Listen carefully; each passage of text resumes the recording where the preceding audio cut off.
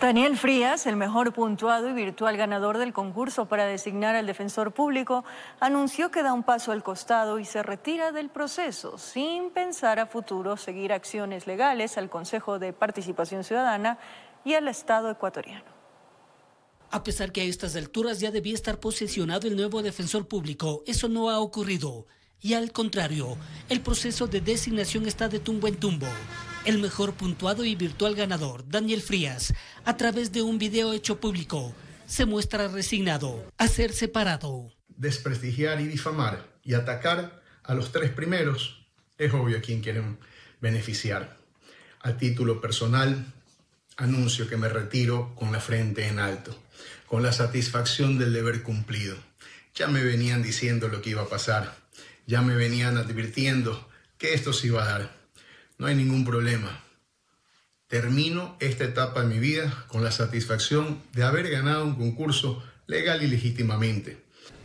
Frías, entre otras cosas, fue cuestionado por la compra de un vehículo que habría pertenecido al narcotraficante Leandro Norero, Javier Jordán.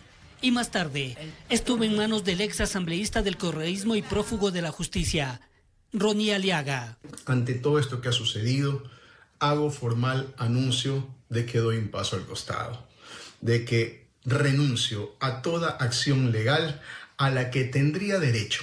Es decir, renuncio a presentar acciones de protección, renuncio a enjuiciar a miembros del Consejo de Participación Ciudadana, peor aún enjuiciar al Estado ecuatoriano dentro o fuera del país, no voy a traer a menos la reputación del Ecuador ya que no es mi intención llegar de esa manera, pese a haber ganado legítimamente el concurso.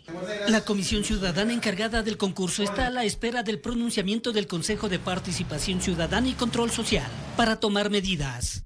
El informe final por parte del Pleno del Consejo de Participación Ciudadana.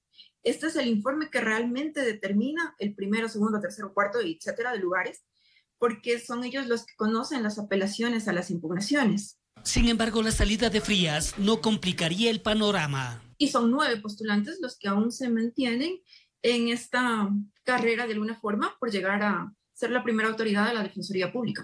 Esto mientras la mañana de este martes deberá ser tratada una nueva acción de protección presentada a esta polémica selección, informó Héctor Romero.